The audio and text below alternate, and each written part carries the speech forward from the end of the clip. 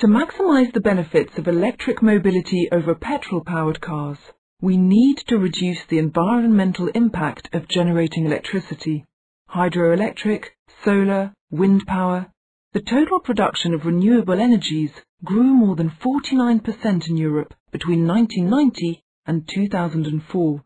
By 2008, these energies already contributed to 16.4% of electricity production.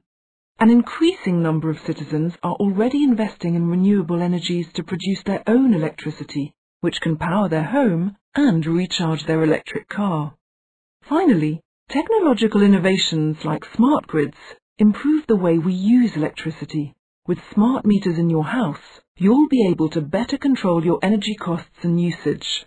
For example, you can shift consumption to off-peak times, when power is plentiful and cheaper.